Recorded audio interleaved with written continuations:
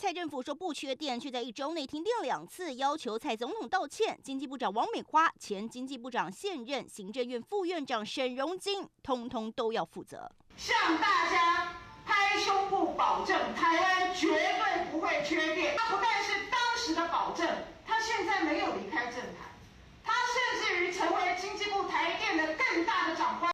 除了开记者会，国民党前主席朱立伦跟现任主席江启臣也在十七号晚间发文，指出人民宁可不要总统道歉，而要正常生活，水电供应无虞。核四公投领衔人黄世修更趁机猛酸。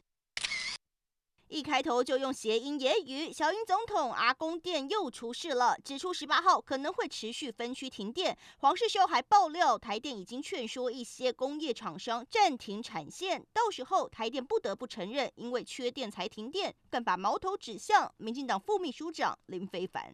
你非常多的梗毒，说这个呃不是缺电哦，是什么输电系统的问题，马上就跳电一次，这个就是。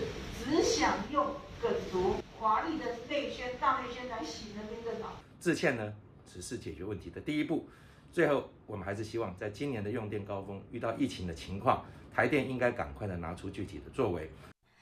绿营立委也希望台电提出解决办法，毕竟停电的民怨谁也承受不起。不过台电十七号记者会中三度提到，缺电原因之一是台塑集团的麦寮三号机没来得及发电，不止台塑主管怒斥是栽赃，蓝营更痛批台电甩锅。全台停电之乱让民进党再度成为箭靶。华语新闻江博伟、郑海中台北报道。